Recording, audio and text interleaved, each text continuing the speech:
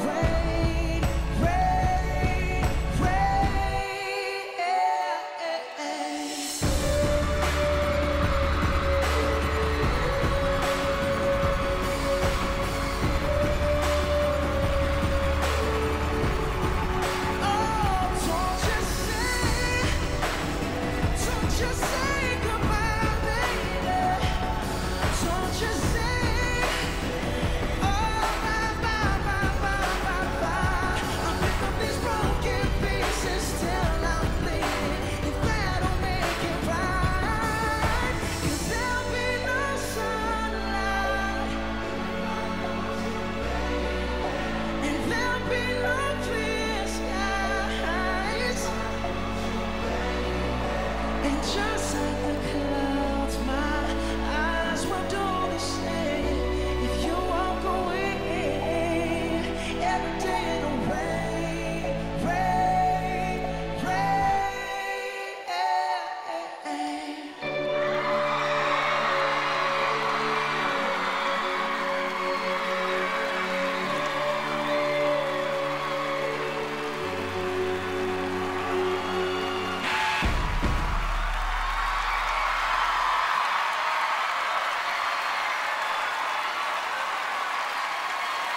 Thank you.